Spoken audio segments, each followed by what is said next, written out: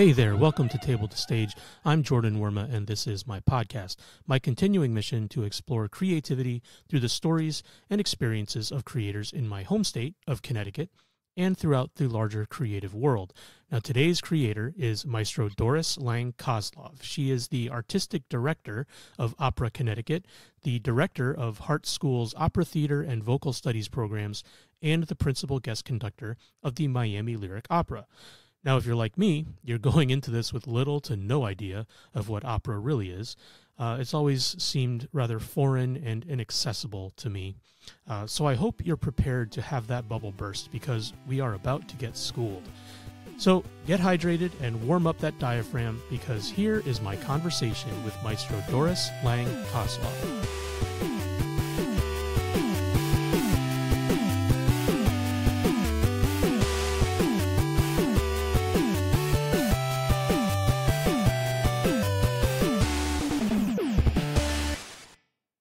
You're originally from New York. Yes, Did you- proudly so. as most New Yorkers are, I, I find. Um, did you grow up there, or did you move, did you move out of New York early No, on? I, I was uh, born in the center of the universe, which is a place called Brooklyn, New York, and um, spent my childhood and my life up until the time I left for graduate school living in and Oh, around wow. New York City. okay, what was uh, what was it like for you growing up in New York? Um, as far as your your creativity and your intro to, to to music and the arts, what was that first experience like for you? Well, first of all, um, it was without limits. Part of that was the fact that I grew up in a musical household. My mother was a Oh. music teacher. She became the president of the New York State Music Teachers Association. She taught both voice and piano. And so I just presumed that everybody in the world studied music and Right. everybody had at least one piano in their house, which turned out in real life not to be true. Right. But, I believed that to be true. And I was able to, um, I was accepted at Juilliard Prep when I was seven and a half years old and moved my, my piano. Oh, I had been playing the piano since three or something like oh that. wow. Don't really remember, but something like that. So being in New York is a kind of a privileged thing in terms of the arts because everything is at your fingertips Sure. if you're directed anywhere near to it. So um, I, my that formal part of my music education started very young and continued throughout my life. And I was a product of the New York City Public Schools and took my music ed, my music programs at Juilliard as a young person until I went to college. Uh, so how long were you at Juilliard then? Well, I from the age of about seven or so through the time I went to high school. Oh wow! So your entire grammar school, Yep. everything was Yeah, all through. Juilliard prep for That's amazing.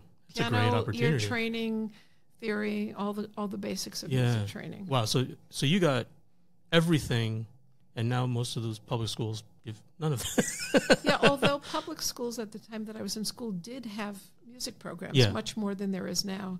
As I think most of us know, the public funding has been de- uh, decreased greatly in terms Yeah. of music and art education. Uh, it's a problem because um, I think music educates us. oh yes. Not just because you don't learn the music, but Right. by learning music, learning how to read music, you learn a lot of skills just performing music. I, I, th- I, think- I think it enhances everything that we do. yeah. I mean, having a little bit of performance can maybe help later on with public speaking, engaging with your audience, and Exactly in right. every every theater of life. the only way to learn how to perform anything to perform. Sure. You can't leave it in the studio. That's not performing. Right. And it's true that when you're in school, whether you're in elementary school or in high school, and you get up to perform in um, any musical, everybody does Annie, anything like that, you have learned how to perform. And yes, it will inform you when you need to get up and address maybe a corporate boardroom later in life. Yeah. No question. So when you when you got through to high school and you decided you're going to go to college, Mhm. Did you know early that you were going to pursue pursue music in your secondary education, or was that something that was sort of a struggle to to make that decision? I think I was programmed from an early age to believe that I was going to do that. Yeah. Um, I had an older sister, and she and I formed a duo piano team, and we were concertizing around the country from the time we were Okay. 10 years old. So, Wow. yeah, it was very much part of the fabric of my life. Yeah. It none of it was a surprise to me. So what was the what was the college experience like for you studying something that you've been doing It was easy. your whole life. the answer, Yeah. And the honest answer, it was easy. In fact, my professors would say, "Well, if you don't get hundred on your theory test, we, we, we want to know why." Because everybody knew that we had had my sister and I both had had the uh, privilege of the Juilliard pre-education before we ever went to college. Yeah. So I mean, you if you spent time performing and touring and, and doing all these things before getting your formal certificate from the school, I imagine you must have been a little bit frustrated at during college. Uh, what happened was, I, I, in terms of things like playing the piano and doing the ear training theory and the, the kinds of things that I've been doing forever, I, it just was easy. So Yeah. what happened is I began exploring other things in Yeah. music, which was really terrific. What were some Singing of those in things? small Renaissance ensembles, things of that kind of okay. things, things that didn't come that easily. Yeah. So um, I did some modeling when I was in college just for fun because Huh. I was offered the opportunity. So I did that. I also decided to add a pre med major when I was in college because because I, I wanted to take organic chemistry and Sure. that's something. So Wow. I I think as most people in college, having uh, not just electives, but things that will take you outside of your comfort zone. I was also extremely involved in in certain sports in terms of well playing tennis, but also in terms of just becoming um, a, a lifelong devotee of the masterful game of baseball Ah, um, at the professional level and watch it and going to just tons and tons of baseball games. So I, I took on other things that were of interest to me. Based on your growing up, I'm guessing Yankee fan. Yankees, Mets, both. Oh, both? both. yes. Okay, all right. NY, NY. Just I am. fill A, it in. I'm yes. a big Mets fan, Yeah. as other listeners of the it show could- probably It could know. be this year. could be. it this could, could be the year. this year. They're I mean, off to a promising start. But, but you know what? You've got it. You've got to. Uh, in the opera, um, Wozzeck, the character said, "Langsam, Wozzeck, langsam. Take it slow, yes. because we're just a Well, it's, weekend." it's been 32 years. It's pretty slow. yes. Uh, so what was? well? Yes. Yeah. So after you finished college, and you, I mean, you've been performing, you've been, you've been studying your whole life for this stuff. When you f- first get the post collegiate career started, what was the first move for you after completing your first degree? Well, since I was a double major both in music and pre med, I had to decide which way I was going to go. Yeah. And I kind of thought I was going to go to med school. And then I just said, no, I think I'm going to. I was really a, primarily a pianist at that point in time. Okay. And so I said, you know, there's a really great piano teacher at Boston University. His name was Leon Tamarkin. And what I'm just going to throw, just see what happens. And there was also György Sándor at University of Michigan, two fantastic pianists. I said, I'm just going to throw an application to those two schools, which I was immediately accepted at both. I was a very, very good student as a Phi Beta Kappa student and academically no problem with anything.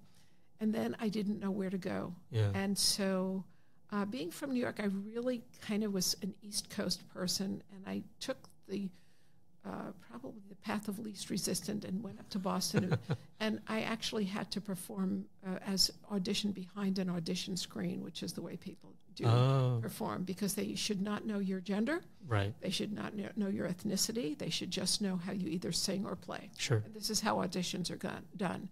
And um, it went really well. Later on, I was allowed to look at my audition sheet, and it said, it said it was something very interesting. That wrote that this person that they did not know, male, female, what I looked like, what anything, they wrote down Slavic, which is interesting because Huh. my heritage is half Russian and half uh, Hungarian. How would And they pick By that the out way I played the piano, playing? I'm just telling you what happened. That's fascinating. It's true. Where, did you ever get any indication of how they were able to I pick up on that? I just was allowed to look. I Oh, to- wow. yep. that, that I feel like there's a story for, if I could track those Right. those folks down. But they were right.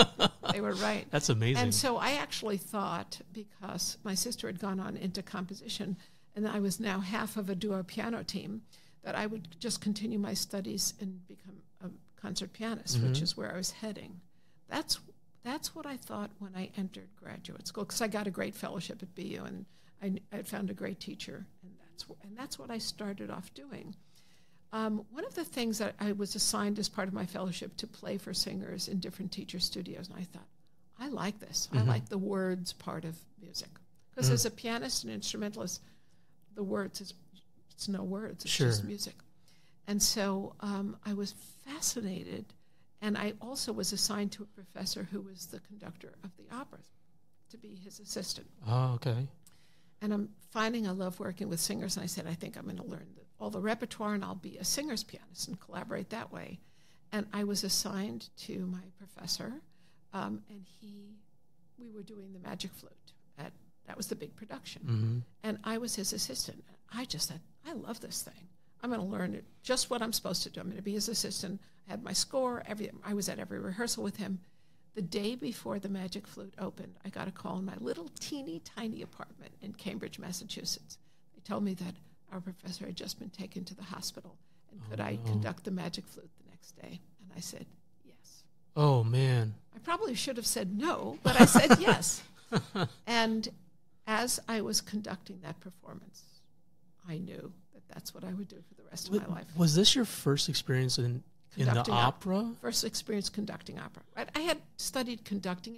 As a music major, you study conducting. Sure. But that was the first thing I ever did conducting opera. Wow. Just being. And, and I you, didn't even know enough to be, you know, nervous about it. I was just excited about it. But as it was happening, I knew what I would do for the rest of my life. Wow, that's incredible. And true, strangely. Uh, so, uh, with the first experience conducting an opera, how did that change how you were looking at the next steps in your career path? Well, once I was fell in love with that job, I had to figure out what to do Uh-huh. to get more opportunities and how, how does one do that? And so um, I took it upon myself to really um, do a lot of language study because Mm. you really, if you're going to do opera, you pretty much need to know Italian. I mean, not just fake Italian, but Right. real Italian because so much of the repertoire is in Italian unless you're somebody who's going to be immersed in German opera. That's another possibility Okay. but I knew pretty much that that wasn't where I was going. So I did a lot of I took a lot of language study, then Italian first. Um, I had studied German as an undergraduate in college, Ah, okay. and then I then I took French also. I just and then ultimately Russian. Oh, so you got a basis in all of the major language You groups have, then? you have to, you have to, Yeah. because one of the things in, which is totally different. First of all, there's one of the things about opera is that it's a production. It's not just the music. hmm there's the sets and the costumes and the lighting and the coordination between the pit and the stage. It's a total. There are so many things to learn, Right. and I just spent the next several years of my life learning. I finished my degree as a major, and then I said, well, then I got a job t- as a music teacher, Uh-huh. and then I went to get married, and my few, my husband was in law school in Washington D.C., so I moved down there, and I just got myself a job at the Washington Opera and Oh. a Wolf Trap. It's something little. And well, I said, I mean, I figured I'd do anything they needed, Yeah. because I could play the piano like crazy. That's a great entree into positions. And then I became uh, the chorus master and the coach at Washington Opera. And wow. from there, come if you work hard, you just find your way. That's incredible.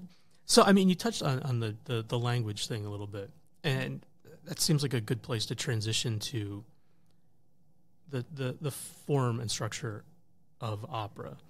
I mean, I'm I'm not familiar with very much opera. I think Nor are most people. I think that the the the vocalization of opera singers that I've heard is something that is amazing to me, quite quite frankly, and it's a little intimidating. um, with good reason. yeah, it- but how? Okay, so if if you were composing an opera, what are what are the the main characteristics that make your piece an opera? Okay, so as a non-composer, Yes. but I can still answer your question. Um, obviously, you're going to the first thing you're going to have is a libretto, which is the Italian word for it means little book, but it's the words to the opera. They come from somewhere. Either they're composed, free free form composed, or you've taken a play or a book or a novella and enlarged it to tell a story. Yeah. So first comes the words. Okay. That's the first thing. Then after that, different composers compose in different ways. Um, here at the Hartt School, which is where we're doing this um, podcast today, Um, the we had, we had a composer come in in January. Her name is Lori Laitman. She's a very um, important American composer, and she writes almost only vocal music.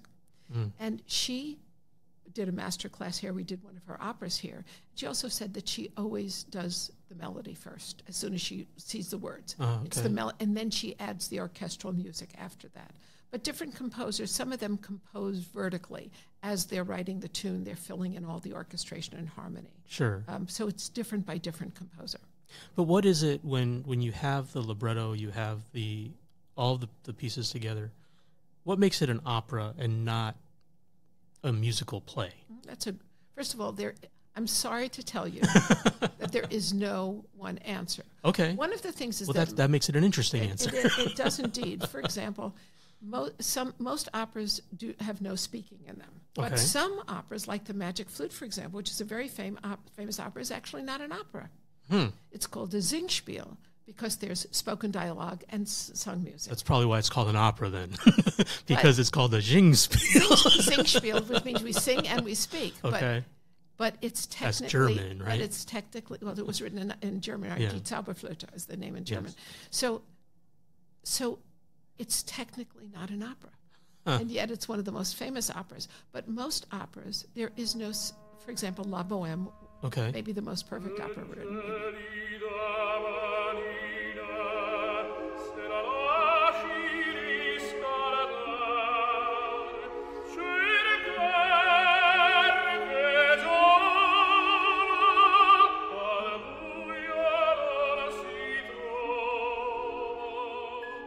Puccini, certainly one of my favorites. Um, there is not a sp- single spoken word in the entire opera, nor is there in most operas. Right. However, I always, because I ask this question all the, I ask the question that you just asked: Mhm. What makes something an opera and not just a mu- piece of musical theater? Um, so, Les Mis, what is that? I've heard it called an operetta very often. I don't know what it is. I still don't know what it is. I think it's its own genre. Mm. Um, Porgy and Bess, which was an opera Uh-huh. written by um, the Gershwins, Mhm. because George Gershwin wrote the words, and his brother Ira Gershwin, with DuBose Heyward, wrote the lyrics for it. Is called an American folk opera. There is some speaking Mhm. in that, but there's a ton of singing. It's terribly difficult. Um, so, I I guess the answer is opera is singing with orchestra and storytelling, although that makes Les Mis an opera. Right. Um, then there's the difference between opera and operetta is more about the subject matter because originally there was a difference between opera seria, which was the opera that was often about religious themes or Okay. king or royalty, and opera buffa, which is more about comic things, which often had um, some spoken dialogue in it. Okay. Uh, but the answer is there is no answer. That's interesting. Uh, I've asked the question. I ask myself all the time, and I ask it in in seminars with students. What is opera? yeah. Huh. Sorry, No, that's sorry that's about great. that. No I, I mean, answer. I'm I'm filled with so many questions right now. Like, so am I. why why do we separate opera from more what we consider traditional musical theater? Okay. Then I'm, I love this question. I think most of it has to do with the following: since opera was not an American invention, Uh-huh. and musical theater was. right. Although the Brits would say that it's British hmm with the Gilbert and Sullivan, which was a takeoff on grand opera. Right. and became its own brand of operetta. But a lot of it, this has to do with language. And what happens is, since most, even now, even, we've had a lot of operas now written in English, hmm but the most of the body of opera has not been written in English. And so when it came to the United States, people tended to perform it over gesticulating because Uh-huh. people didn't speak the language in which they were being told the story Right. Uh, it's often said that there was baritone position number one, baritone position number two. One was for love, one was for killing someone. These kind of exaggerated positions and ways of communicating. And I think that set up a barrier with people Huh. Okay. However, the barrier was overcome by the use of surtitles or supertitles. hmm Because once we found out in opera that why shouldn't people be able to know what people were singing, we instituted surtitles or supertitles. Um, the woman who was responsible in New York for really making that happen was with the now defunct City Opera. Her name is Sonia Friedman, and she created the titles, which at that time were done on slides and done in a slide carousel. Now we do everything through PowerPoint. So this this is kind of similar to the way they used to do the uh, the, the silent films in theaters. Absolutely an excellent analogy. Yeah. Yes. And what happened, by the way, I'm very proud of one thing that I did, which was I was the first person in the state of Connecticut to ever institute the uh, use of super titles. Uh huh. Which theater was this? This was in the Bushnell Theater with a now defunct organization called Connecticut Opera. Okay. Um, went out of business about 10 years ago. But it was a major regional opera company for which I worked. And I said, we just have to do it. Sure. And people said, no, we shouldn't do it. But we did it. Now we have found that American opera audiences, even when operas are in English, demand titles because the style of singing in some opera writing embraces the extreme tessitura or range mm-hmm. on both ends, very low and very high. But when you sing very high above the staff, whether you're a tenor or a soprano, oftentimes the language and the words can get lost. Sure. It's very very hard to enunciate. Actually, impossible in some places. And so super titles really cure that problem. Yeah. I, I, I could see knowing that the titles were going to be available to me, making that more accessible. Like I, I could, and even never mind the, the language, it, whatever language it's in, because ultimately story is what drives people to any form, as far as I'm concerned, to any form of theater or art. There's a story being told by an artist or a singer or composer, and if I know I can follow the story, I'm going to be much more likely to sit and watch the story being told. It would be the only way. uh, For example, if you're listening to something and you don't speak the language, they might as well just sing on la. right. But I mean, the other thing that is important to note a difference is that opera is an acoustic art form. Uh huh. We don't use microphones. In the Metropolitan Opera, it seats almost 4,000 people. The trained voices can be heard over the orchestra because they know how to sing. Tra- they're trained to sing diaphragmatically, and they are their own microphones. And Okay. that's very different from music theater. Yeah. Okay. So now I have to I have to get on a little bit on that because. The the voice aspect of this is something like like I said, it's intimidating to me, and I've been singing since I was about five years old, but was never trained in opera. It's always it's always been this this other thing on this this whole other world. I didn't realize that operas were not uh, amplified. So, what is it about opera singing, technically, that makes it such a different form of vocalizing than I don't want to talk about pop singing, but musical theater or or other more traditional um, or better known forms of voice. Okay, great question, and a basic question. hmm So, um, you can sing into a microphone and use no diaphragmatic breath whatsoever because the microphone will solve your problems in terms of amplification. But you have to use your air hmm to actually phonate when you sing as an opera singer or any classically trained singer. It could be oratorio as well hmm are, or if you're a concert singer with an orchestra.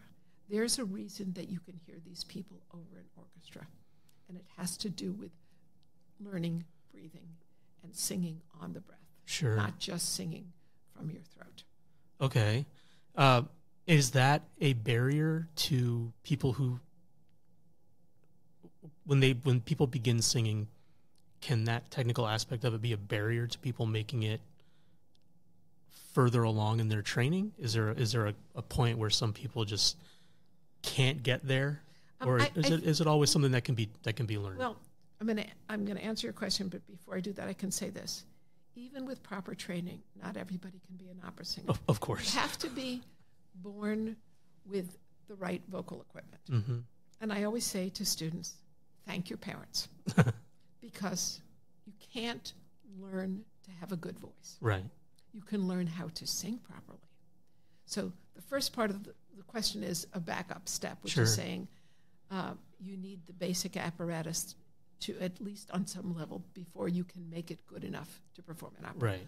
But in terms of age, you know, it depends on the voice type. Some voices mature much earlier than others. For example, there are probably about 10 different kinds of classifications of sopranos, hmm believe it or not. Uh, There are so, and combinations, lirico, spinto, coloratura, I mean, dramatic. There are all these different kinds of soprano voices. Okay. If you are a light lyric soprano, your voice is going to mature before other voice types. So if you wait until you're 30 to take voice lessons, think you're going to have a tough time Okay. if you're a basso, your voice isn't going to even start to mature until you're 30. Oh wow. So you could start studying later, and um, some people have. For, I mean, Is there like a blood test you can take to figure out I don't think so figure so. out which I- one you I are? I don't think so. okay.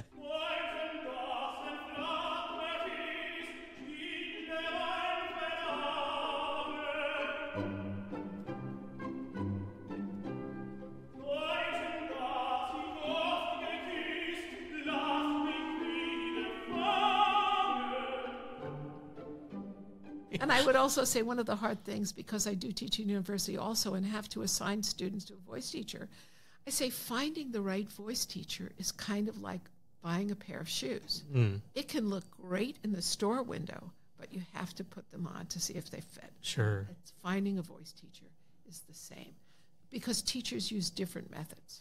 And some are very physiological hmm in their information, some teach by analogy. Um, te- people teach all different ways. And so um, it's, uh, it, it's, it's hard to find the right voice teacher, and finding the right method is also difficult.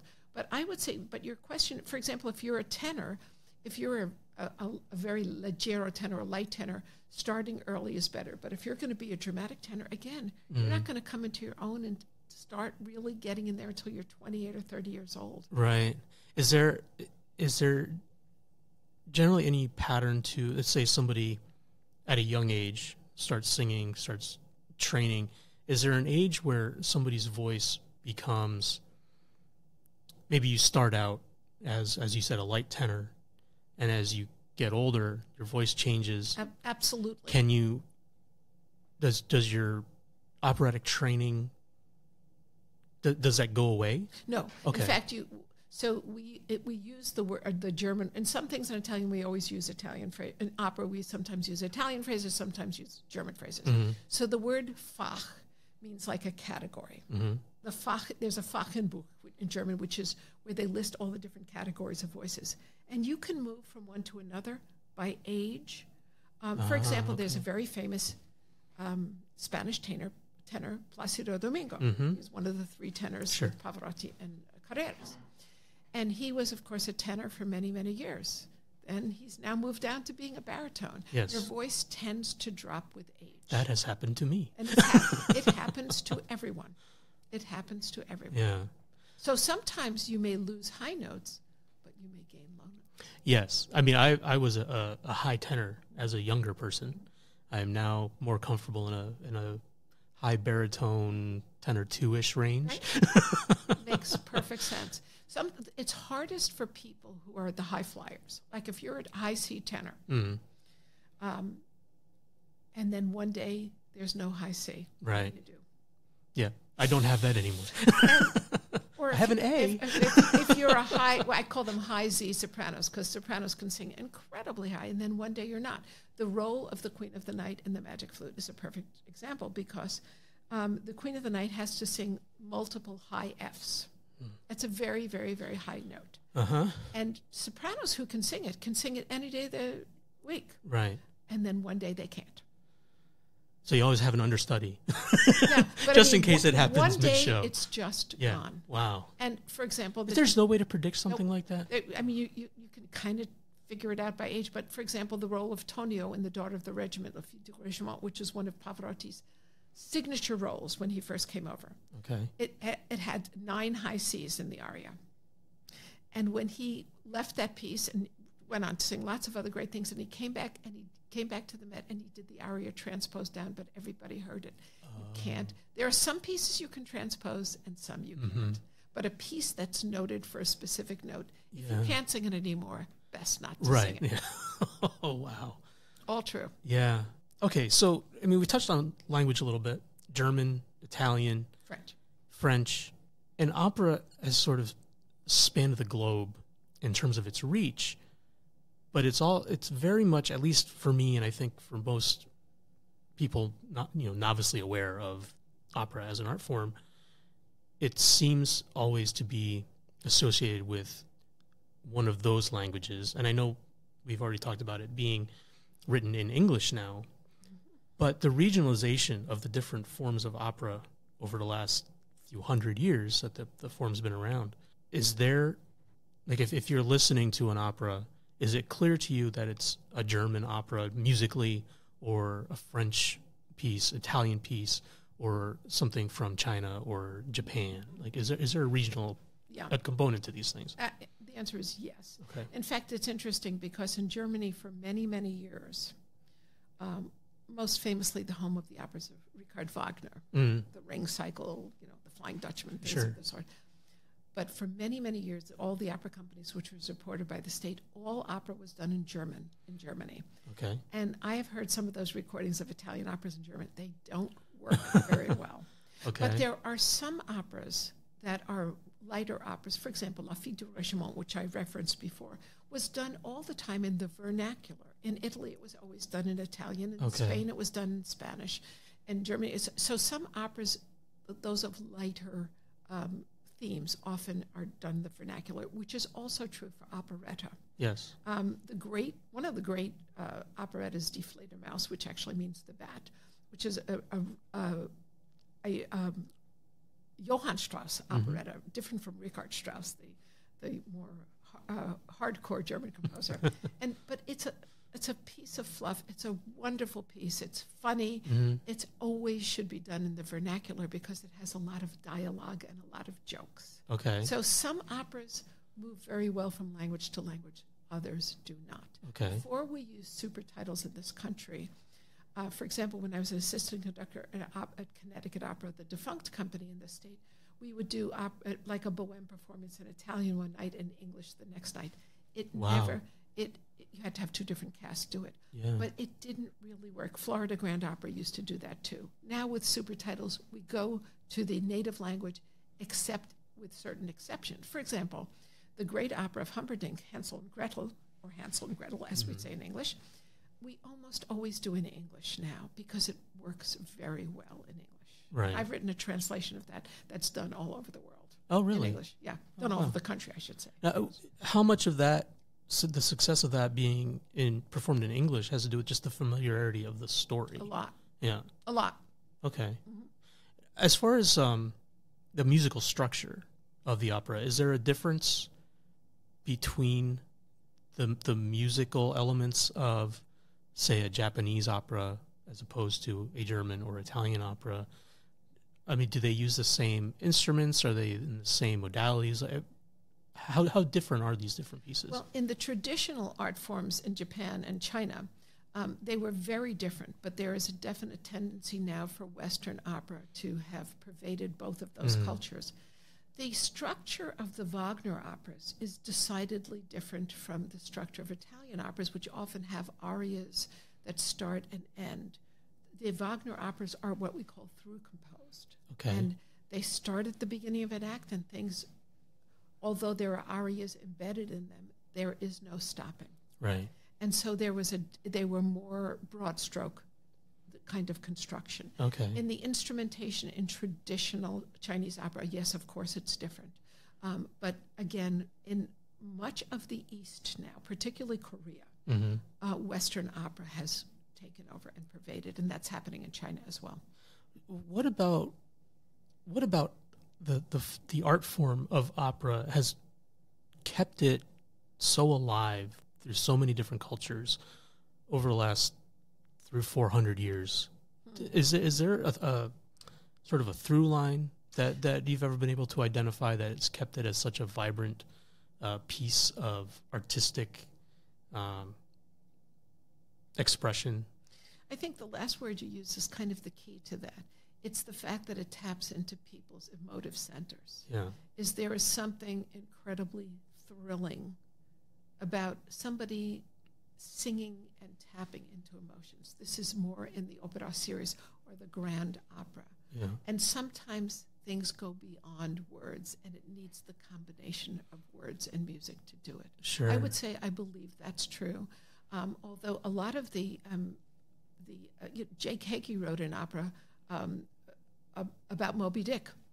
Took the novel of Moby Dick and he did it. And he, it was something that was was galvanizing. I flew down to Washington to see it. I had two friends who were in the cast too. Uh-huh. So sometimes you can take contemporary themes and make them important. But I do think it's the combination of emotion and tapping into people's feelings and everything else that make it. So the the last thing I, I want to touch on because we are at Hartt School right now. Yeah. So what sort of opera programs are are you involved with here, and how is this program furthering the development of opera performers and the art form? First of all, thank you for the question. So I hold three positions simultaneously. Um, uh, in addition to being the director of vocal studies in the Hartt Opera Theater, I'm also the director, uh, the artistic director of Opera Connecticut, which is a local professional company that produces traditional operas, and I also am the principal guest conductor of Miami Lyric Opera down in Miami, Florida. Oh, so, a short commute. Yeah. So at the Hartt School here, we alternate between doing a very traditional opera. Last we, last year we did the operetta, The Merry Widow, something very Okay. familiar, and this year we did a double bill of an American opera, Lori Laitman's opera, which was specifically configured for our performance, and Ravel's L'Enfant et les Sortilèges, written in French and performed in French. Okay. So we did quirky things one year and then traditional things. Next year we will, and then we just finished a montage of scenes from of Mozart, from The Magic Oh. Flute and Don Giovanni. Okay. So every year it's we do something to so that students can learn the different basic styles of opera. Sure. Uh, where do the students for this program come from? Wow. Like they can't possibly all be No, Connecticut born. In fact, almost none are. Okay. But we have a few. Uh, we, it's like the United Nations here. students from, from Mexico. We have lots of students from China. I went on a recruiting trip there a year and a half ago. Um, our dean is leaving next week to go on another recruiting trip to Wow. China. We have students from Korea. We have students from Australia, Canada, Yeah. Oh, that's great. everywhere. That's wonderful. It is like the United Nations here. Yeah. And if you see one of our productions, every ethnicity, every race, every everything is represented. We, all opera casting now is done race and, race and ethnicity blind. Yeah. Oh, that's wonderful. Thank you so much for taking the time to speak with me. I appreciate it. It's been my great pleasure. All right, Thank you. Thank you so much. Once again, a big thank you to Maestro Doris Lang Kosloff for taking the time out of her busy schedule to speak with me. Uh, you can learn more about the Hartt School at the University of Hartford by visiting hartford.edu slash hartt. That's H-A-R-T-T. And for more info on Opera Connecticut, visit operaconnecticut.org. Now, if you're enjoying the show, I hope you'll take a moment to leave a rating or a review on iTunes or wherever it is that you listen. Um, and even take a visit to patreon.com slash table to stage to find out how you can support the show a little bit more directly. Now we're fast approaching the first ever table to stage live in hartford on may 22nd so be sure to reserve your tickets in advance by visiting table to tabletostagepod.com slash live. Now the show is happening at ct comedy theater in hartford and includes performances by comedian rob santos singer-songwriter abby auden and drag queen duo summer orlando and barbara jones street sand plus games and audience participation. Now i hope to see you all there. That's it for now. Until next time keep creating